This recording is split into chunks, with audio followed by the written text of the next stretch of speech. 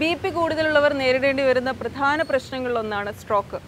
നാൽപ്പത് വയസ്സിൽ താഴെയുള്ളവർക്ക് സ്ട്രോക്ക് വരാനുള്ള പ്രധാന കാരണവും ബി പി കൂടുതൽ തന്നെയാണ്. ബി പി ഉള്ളവർക്ക് മറ്റുള്ളവരെ അപേക്ഷിച്ച് സ്ട്രോക്ക് വരാനുള്ള സാധ്യത നാല് മുതൽ ഒമ്പത് മടങ്ങ് വരെ അധികമാണ്. അനാരോഗ്യകരമായ ജീവിതശൈലി തിരുത്തുക തന്നെയാണ് സ്ട്രോക്കിനെ നേരിടാനുള്ള ആദ്യ കരുതൽ. തലച്ചോറിന്റെ ഏത് ഭാഗത്ത് എത്രത്തോളം വലിയ ആഘാതമുണ്ടായി എന്നതിനെ ആശ്രയിച്ചാണ് സ്ട്രോക്കിന്റെ കാഠിന്യം മനസ്സിലാക്കുന്നത്.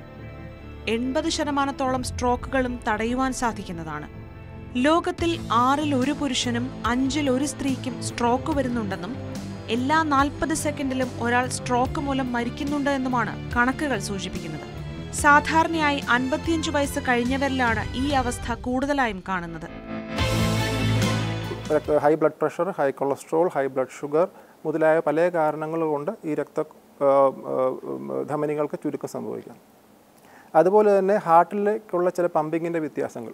ഹാർട്ടും ഹൃദയത്തിലേക്കുള്ള ചില കൃത്യമായിട്ടുള്ള താള താളത്തിന്റെ തെറ്റുകൾ. താളക്രമി താളം കൃത്യമായിട്ട് ഹാർട്ട് പമ്പ് ചെയ്യാതിരിക്കുന്ന അവസ്ഥകൾ ഹാർട്ടിലത്തെ വാൽവിന്റെ ചുരുക്കങ്ങൾ കാരണം ഹാർട്ട് അറ്റാക്ക് മൂലം ഹൃദയത്തിന്റെ ഭിത്തിയിൽ ഉണ്ടാകുന്ന രക്തക്കട്ടകൾ മൂലം ഇതെല്ലാം ഹൃദയത്തിലൂടെ സഞ്ചരിച്ച് രക്തക്കൊള്ളുകളിലൂടെ പോയി തലച്ചോറിനകത്ത് പോയി രക്തധമനികളെ ബ്ലോക്കായിട്ടും സ്ട്രോക്കായിട്ടും ഉണ്ടാകും.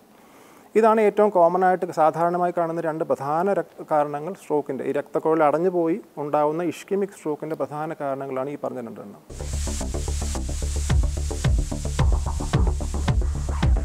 ചിലപ്പോഴൊക്കെ രോഗലക്ഷണങ്ങൾ ഇല്ലാതെയും തലച്ചോറിനുള്ളിൽ സ്ട്രോക്ക് വരാറുണ്ട്.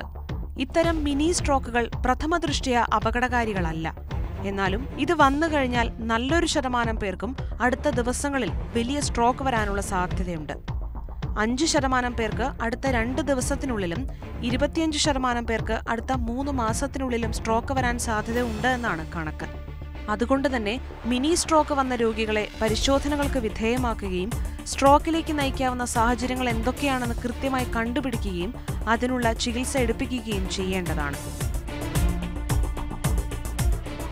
സ്ട്രോക്കിന് മുന്നോടിയായി ചില വാർണിംഗ് സിഗ്നൽസ് ചിലപ്പോൾ നമുക്ക് ലഭിക്കാം. അതായത് സ്ട്രോക്ക് അല്ലെങ്കിൽ മിനി സ്ട്രോക്ക് എന്ന് പറയാറുണ്ട് നിലയിൽ ടി ഐ എ അല്ലെങ്കിൽ മിനി സ്ട്രോക്ക് അതായത് തലച്ചോറിലേക്കുള്ള രക്തയോട്ടം നോർമൽ ഗതിയിലല്ല.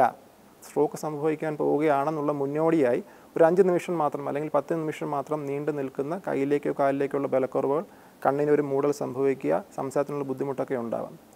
ചിലപ്പോൾ ഇത് പല പ്രാവശ്യം ഒരു ദിവസത്തിൽ നാലോ അഞ്ചോ വട്ടം പിന്നെയും പിന്നെയും വരാം. ഇതൊരു സ്ട്രോക്കിന് മുന്നോടിയായിട്ടുള്ള സ്ട്രോക്ക് സംഭവിക്കാൻ ഒരു മേജർ സ്ട്രോക്ക് സംഭവിക്കാൻ പോവുകയാണ് എന്നുള്ള മുന്നോടിയായിട്ടുള്ള ഒരു അവസ്ഥയാണ്. ഇതൊരു വാർണിംഗ് സിഗ്നലായി നമുക്ക് കണക്കാക്കാം. വർഷങ്ങളായിട്ടുള്ള പെരുപ്പ് വർഷങ്ങളായിട്ടുള്ള ബലക്കുറവ് അതൊന്നും സ്ട്രോക്കായിട്ട് ചിന്തിക്കേണ്ട കാര്യമില്ല. സ്ട്രോക്ക് ഈ വാക്ക് സ്ട്രോക്ക് എന്നുള്ള വാക്ക് ആ ഒരു അർത്ഥത്തിലാണ് അവർ ഈ അസുഖത്തിന് കൊടുത്തിരിക്കുന്നത്. പെട്ടെന്ന് വരുന്ന ഒരു അടി പോലെ വരുന്ന സിംറ്റംസ് ആണ് സ്ട്രോക്ക് അപ്പോൾ ഒരു കുഴപ്പമില്ലാത്ത വ്യക്തി സംസാരിച്ചുകൊണ്ടിരിക്കുന്നു പെട്ടെന്ന് ഒരു സൈഡ് തളർന്ന് വലത് കൈയും കാലും തളർന്ന് താഴേക്ക് വീഴുന്നു. കൈ പൊക്കാൻ ശ്രമിക്കുമ്പോൾ വലത് കൈ പൊങ്ങുന്നില്ല അല്ലെങ്കിൽ വലത് കാൽ പൊങ്ങുന്നില്ല. പക്ഷേ അതൊരു സ്ട്രോക്കിന്റെ ലക്ഷണമാണെന്ന് ഒന്ന് മനസ്സിലാക്കിയാൽ വളരെയധികം ഗുണം ആ പേഷ്യന്റിന് കിട്ടും. അപ്പോൾ ചിലപ്പോൾ ഇതുപോലെ പെട്ടെന്ന് വരുന്ന ചില അസുഖങ്ങളുണ്ട്. ഒരു ഉദാഹരണം ഞാൻ പറയും ജെന്നി. ജെന്നി ഇതുപോലെ പെട്ടെന്ന് വരുന്നതാണ് കൈയും കാലും വെട്ടി ബോധം കെട്ട് താഴേക്ക് വീഴുക നൊരമ്പതമൊക്കെ വരിക. ഒരു അഞ്ച് മിനിറ്റ് കഴിയുമ്പോൾ പേഷ്യന്റെ ബോധം പതുക്കെ തിരിച്ചു വരും. പക്ഷേ ചില കേസസിൽ സ്ട്രോക്കിന്റെ ആദ്യത്തെ ലക്ഷണം ഒരു ജെന്നി ആയിട്ടായിരിക്കാം. കുറച്ചുകൂടെ ശ്രദ്ധിക്കുകയാണെങ്കിൽ നമുക്ക് മനസ്സിലാവുന്നത് ഞാൻ ഈ പറഞ്ഞ പോലെ ശരീരത്തിന്റെ ഒരു ഭാഗം അതായത് ഇപ്പോൾ വലത് സൈഡാണെങ്കിൽ വലത് കൈ വലത് കാൽ തളർന്നിരിക്കുന്നു. മുഖത്തിന്റെ വലത് സൈഡും തളർന്ന് കാണും. അപ്പോൾ ആ പേഷ്യന്റ് സംസാരിക്കാൻ ശ്രമിക്കുമ്പോൾ മുഖം മുഖത്തിന്റെ ആംഗിൾ അതായത് നമ്മുടെ മുഖത്തിന്റെ ഒരു സൈഡ് ഓപ്പോസിറ്റ് സൈഡിലേക്ക് വലിക്കും. സംസാരിക്കാൻ ശ്രമിക്കുമ്പോൾ ഒരു സൈഡിലേക്ക് കോണിപ്പോകും. കാര്യം മറ്റേ ഭാഗം തളർന്നു പോയതുകൊണ്ട് നോർമൽ ഭാഗം മുഖത്തിന്റെ ഒരു ഭാഗത്ത് ഒരു സൈഡിലേക്ക് വലിക്കും. അപ്പോൾ ടിപ്പിക്കൽ ലക്ഷണം ഒരു സൈഡ് തളർന്ന് മുഖം മറ്റേ സൈഡിലേക്ക് കോണി. ഇതാണ് സാധാരണ കാണുന്നത്. ഇതിന്റെ പല കോമ്പിനേഷൻസ് കാണാം. ചില പേഷ്യൻസിന് മുഖവും കോണി കൈയും തളർന്നു. പക്ഷേ നടക്കാൻ പറ്റുന്നുണ്ട്. കാലിനൊന്നും പറ്റിയിട്ടില്ല. അത് സ്ട്രോക്ക് ആയിരിക്കാം. തലച്ചോറിലേക്കുള്ള രക്തക്കുഴലുകൾ ഏത് രക്തക്കുഴലാണ് ബാധിക്കപ്പെട്ടത് അതിനനുസരിച്ച് ലക്ഷണങ്ങൾ മാറും കുറച്ചുകൂടെ മൈൽഡായിട്ടുള്ള ഒരു സ്ട്രോക്കിന്റെ ലക്ഷണം. ബലക്കുറവൊന്നുമില്ല മുഖമൊന്നും കോണിയിട്ടൊന്നുമില്ല. പെട്ടെന്ന് ഇപ്പോൾ ഒരു സ്ഥലത്ത് നിൽക്കുമ്പോൾ അല്ലെങ്കിൽ കുളിച്ചുകൊണ്ട് നിൽക്കുമ്പോഴത്തേക്കും ശരീരത്തിന്റെ ഒരു ഭാഗം ഇപ്പോൾ എഗെയിൻ നമുക്ക് വലത് സൈഡ് തന്നെ എടുക്കാം.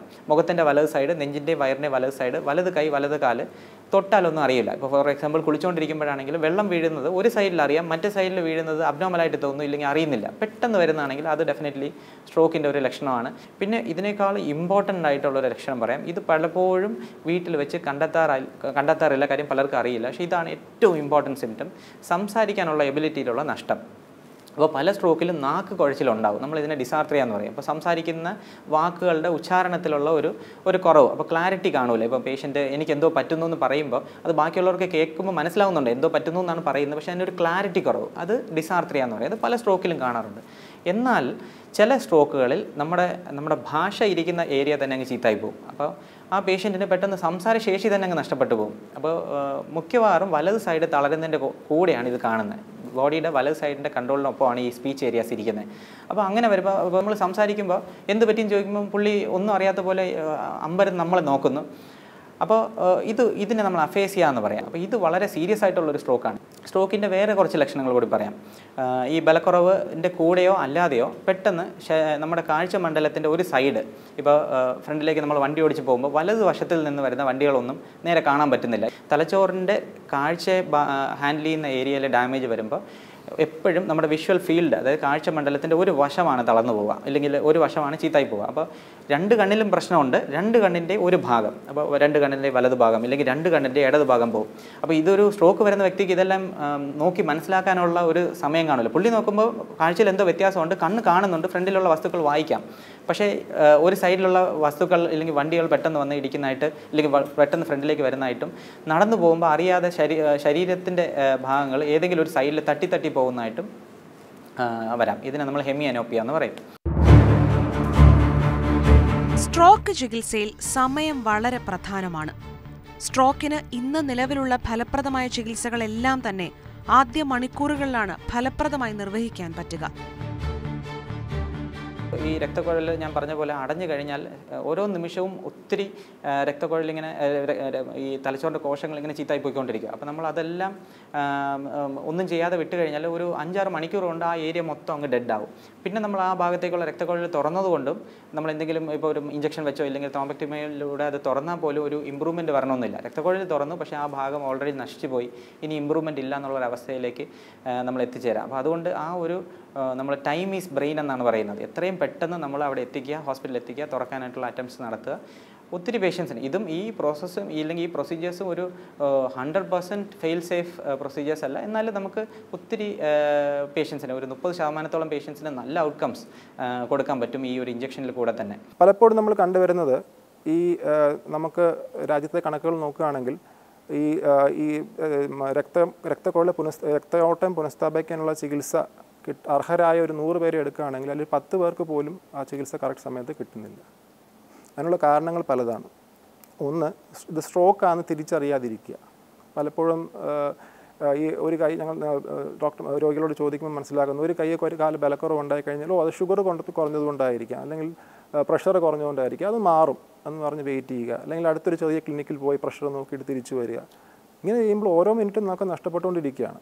ചെയ്യേണ്ട അറിയേണ്ട കാര്യം ഒട്ടും താമസിക്കാതെ അടുത്തൊരു സ്ട്രോക്ക് കെയർ ഉള്ള ഹോസ്പിറ്റലിൽ എത്തിക്കുക എന്നുള്ളതാണ്.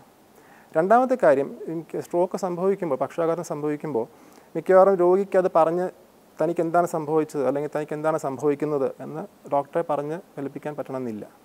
അങ്ങനെയുള്ള സാഹചര്യങ്ങളിൽ കൂടുതൽ പ്രാധാന്യമുള്ളത് കുടുംബത്തിലത്തെ മറ്റംഗങ്ങൾക്കോ കൂട്ടിരിപ്പുകാർക്കോ ആണ്. ഡോക്ടർക്ക് അറിയേണ്ട കാരണങ്ങൾ കാര്യങ്ങൾ പലതുണ്ട്. എപ്പോഴാണ് സ്ട്രോക്കിന്റെ ലക്ഷണങ്ങൾ ആരംഭിച്ചത്? രോഗിക്ക് വേറെ എന്തൊക്കെ അസുഖങ്ങളുണ്ട്? ഹാർട്ടിന് പ്രശ്നമുണ്ടോ? വേറെ കിഡ്നിക്ക് പ്രശ്നമുണ്ടോ? വേറെ എന്തൊക്കെ ഗുളികളാണ് കഴിച്ചുകൊണ്ടിരിക്കുന്നത്? മുമ്പ് വേറെ എന്തൊക്കെ അസുഖങ്ങൾ രോഗിക്ക് വന്നിട്ടുണ്ട്? മുമ്പേ സ്ട്രോക്ക് വന്നിട്ട് ഇങ്ങനെ പോകുന്ന കുറേ കാര്യങ്ങൾ വളരെ പ്രധാനമായ രോഗിയുടെ ചികിത്സയെ ബാധിക്കുന്ന വളരെ പ്രധാനമായ കാര്യങ്ങൾ രോഗിക്ക് പറയാൻ പറ്റാത്ത അവസ്ഥയിൽ കുടുംബാംഗങ്ങൾ ആ കാര്യങ്ങൾ അറിയാവുന്ന കുടുംബാംഗങ്ങൾ കൂടെ ഉണ്ടാവുക എന്നുള്ളത് അത്യാവശ്യമാണ്. മിക്ക അവസ്ഥയിലും നമ്മൾ കണ്ടിട്ടുള്ളത് ഇതെല്ലാം അറിയുന്ന ആൾ അപ്പോഴത്തെ കുറ്റമല്ല അപ്പോഴത്തെ ആ ഒരു ടെൻഷൻ കാരണം വീട്ടിലിരിക്കുകയും ബാക്കി ഇതിനെപ്പറ്റി വ്യക്തമായിട്ട് അറിയാത്ത ആൾ ഡോക്ടർ രോഗി രോഗിയെ കൊണ്ടുവരികയും ചെയ്യാൻ മിക്കപ്പോഴും കാണാറുള്ളൂ ഇതെല്ലാം നമുക്ക് കറക്റ്റായിട്ടുള്ള ചികിത്സ നൽകാനുള്ള ആ സമയത്തെ നമ്മൾ നഷ്ടപ്പെട്ടുകൊണ്ടിരിക്കും. പണ്ടൊക്കെ നമുക്ക് സ്ട്രോക്കിന് കൃത്യമായ ഒരു ചികിത്സ ഇല്ലായിരുന്നു. സ്ട്രോക്ക് തടയുക എന്നുള്ളതായിരുന്നു പ്രധാന ഇത്. ഇപ്പം നമുക്ക് ത്രോംബോലൈസിസ് എന്ന് പറയുന്ന ഒരു ചികിത്സാ രീതി ഇപ്പോൾ നമുക്ക് ഉണ്ട്. അത് വെച്ചിട്ട് നമുക്ക് സ്ട്രോക്ക് പൂർണമായി തടയാൻ പറ്റിയില്ലെങ്കിൽ തന്നെയും അതിന്റെ തീവ്രത കുറയ്ക്കുവാൻ കഴിയും. നാലര മണിക്കൂറിനുള്ളിൽ രോഗി എത്തിയാൽ ഈ മരുന്ന് സി ടി എടുത്തതിന് ശേഷം സ്ട്രോക്ക് ഉണ്ടെന്ന് ബോധ്യമായാൽ ഇത്തരം മരുന്ന് കൊടുത്താൽ അതിന്റെ തീവ്രത നമുക്ക് കുറയ്ക്കുവാൻ കഴിയും. ഇത് കൂടാതെ തന്നെ സർജറി പോലുള്ള നൂതനമായ ചില ചികിത്സാ രീതികളും ഇപ്പോൾ നമുക്ക് നിലവിലുണ്ട്. ഈ രക്തക്കുഴലുകളിൽ ക്ലോട്ട് ഉണ്ട്. നമ്മൾ ആദ്യം ഇത്തരം പേഷ്യന്റുകളിൽ സി ടി ആൻജിയോ എന്ന് പറയുന്ന ഒരു ടെസ്റ്റ് നടത്തുകയും രക്തക്കുഴലുകളിൽ ക്ലോട്ട് ഉണ്ടെന്നുണ്ടെങ്കിൽ ഒരു രക്തക്കുഴലുകളിലൂടെ കത്തീറ്റർ ഉപയോഗിച്ച് ഈ ക്ലോട്ടുകൾ മാറ്റാൻ പറ്റുന്ന ചികിത്സാ രീതിയും ഇപ്പോൾ നിലവിൽ ഉണ്ട്. കൃത്യമായി മരുന്ന് കഴിക്കുക ബി പി ക്രമീകരിക്കുക വ്യായാമം ഭക്ഷണം ജീവിതചര്യ ഇവ കൃത്യമായി പാലിക്കുക. ഇതൊക്കെ തന്നെയാണ് ഒരിക്കൽ സ്ട്രോക്ക് വന്നാലും തുടരേണ്ട കാര്യങ്ങൾ. ആജീവനാന്ത വൈകല്യത്തിന് കാരണമായേക്കാവുന്ന പ്രധാനപ്പെട്ട രോഗങ്ങളിലൊന്നാണ് സ്ട്രോക്ക്. അതുകൊണ്ട് ഒരിക്കൽ സ്ട്രോക്ക് വന്ന ആൾക്ക് കൂടെയുള്ളവരുടെ സഹകരണവും കരുതലും സ്നേഹവും വളരെ അത്യാവശ്യമാണ്. സ്ട്രോക്കിൽ നിന്ന് രക്ഷ നേടാൻ ആദ്യം ചെയ്യേണ്ടത് രക്തസമ്മർദ്ദം നിയന്ത്രിക്കുക എന്നതാണ്. ബി പി ഉള്ളവർ മരുന്ന് കൃത്യമായി കഴിക്കുക.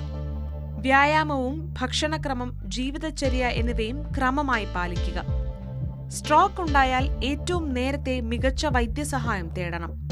ആദ്യത്തെ മണിക്കൂറുകൾ ഇതിന്റെ ചികിത്സയിൽ തികച്ചും നിർണായകമാണ്. ഒരിക്കൽ സ്ട്രോക്ക് വന്നു കഴിഞ്ഞാൽ സ്ട്രോക്കിനുള്ള കാരണം കണ്ടുപിടിച്ച് ചികിത്സ നമ്മൾ തുടങ്ങിക്കഴിഞ്ഞാൽ ഭാവിയിൽ ഇനിയും സ്ട്രോക്ക് വരാനുള്ള റിസ്ക് ഉണ്ടോ എന്നുള്ളതാണ് ചോദ്യം. ഇനിയും ഭാവിയിൽ പക്ഷാഘാതം വരാനുള്ള റിസ്ക് നമുക്ക് ഉണ്ട്. കാരണം കണ്ടുപിടിച്ചാൽ മാത്രമേ എത്ര ശതമാനമെന്ന് നമുക്ക് പറയാൻ പറ്റുള്ളൂ. എന്നാൽ ഭാവിയിൽ ഇനിയും ഒരു സ്ട്രോക്ക് വരാനുള്ള റിസ്ക് നമുക്ക് എപ്പോഴും ഉണ്ട്. അത് വരാതിരിക്കാൻ വേണ്ടി നമുക്ക് ചെയ്യേണ്ട കാര്യങ്ങൾ ഒന്ന് നേരത്തെ പറഞ്ഞ ജീവിതശൈലിയിലെ മാറ്റങ്ങൾ രണ്ടാമത് ഗുളിക കൃത്യമായിട്ട് കഴിക്കുക മൂന്നാമത് ഫിസിയോതെറാപ്പി എക്സസൈസും കൃത്യമായി ചെയ്യുക. പിന്നെ സ്ട്രോക്ക് വരാനുണ്ടെങ്കിൽ ഇനി അടുത്ത സ്ട്രോക്ക് വന്നാൽ നേരത്തെ മുന്നേ സംഭവിക്കാത്ത പോലെ താമസിക്കാതെ എത്രയും പെട്ടെന്ന് ഡോക്ടറിന്റെ അടുത്ത് എത്താൻ വേണ്ട റെഡിയാകുക എന്നുള്ള ആയി പ്രിപ്പയർഡ് ആയിട്ടിരിക്കുക എന്നുള്ളതാണ് ചെയ്യേണ്ടത്. ഡോക്ടറിനെ കാണാൻ പോകുമ്പോൾ മറക്കാതിരിക്കേണ്ട ഒരു കാര്യം കയ്യിലുള്ള പറ്റുമെങ്കിൽ കയ്യിൽ മുന്നേ ചെയ്ത സ്കാനുകൾ മുന്നേ ഉള്ള പേപ്പറുകൾ ഡോക്ടറിന്റെ ചീട്ടുകൾ ഇപ്പോൾ കഴിക്കുന്ന ഗുളികകളുടെ വിവരങ്ങൾ ഇതെല്ലാം ഡോക്ടറിനെ കാണാൻ പോകുമ്പോൾ കഴിയുമെങ്കിൽ കൊണ്ടുപോകേണ്ടതാണ്. ഉയർന്ന രക്തസമ്മർദ്ദവും പ്രമേഹവുമുള്ളവർ കൃത്യമായി മരുന്ന് കഴിച്ച് നിയന്ത്രിക്കണം. Physiotherapy speech therapy occupational therapy രക്തം കട്ട പിടിക്കാതിരിക്കാനുള്ള മരുന്നുകൾ എന്നിവയിലൂടെ സ്ട്രോക്കിനെ അതിജീവിക്കാനാകും. ഫിസിയോതെറാപ്പി കൊണ്ട് നമ്മൾ ഉദ്ദേശിക്കുന്നത് ഈ പഴയതുപോലെ ശക്തി തിരിച്ചു കൊണ്ടുവരിക എന്നുള്ളതല്ല.